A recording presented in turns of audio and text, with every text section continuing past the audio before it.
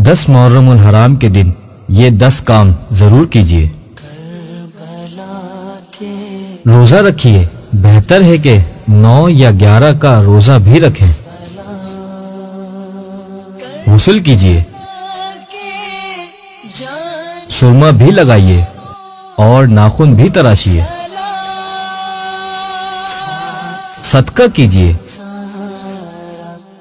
नमाज़ नफिल भी पढ़िए। एक हज़ार मरतबा, कुल हु अल्लाह का विट कीजिए। उलमा की जियारत कीजिए। यतीम के सर पर हाथ फेरिए।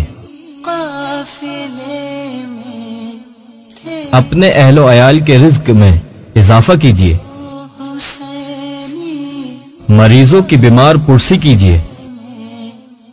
अल्लाह ताला हमें इस दिन की बरकतें हासिल करने की तोफ़ी अता फरमाए। आमीन।